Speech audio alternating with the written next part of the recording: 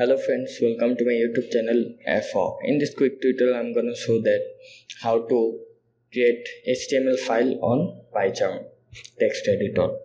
So friends, this way is very easy. Then you have to first open your PyCharm text editor.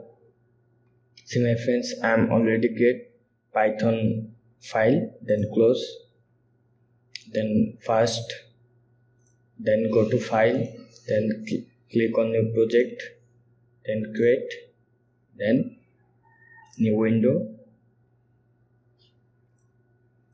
then then second you have to go file then click on new and keyboard shortcut alt plus insert. Then I have to click new.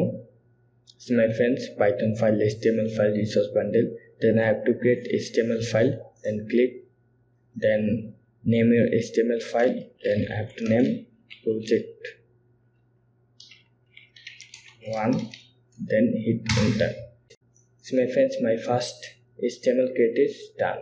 Then i have to create one more html file then go to file new then select html file the file name project 2 and hit enter.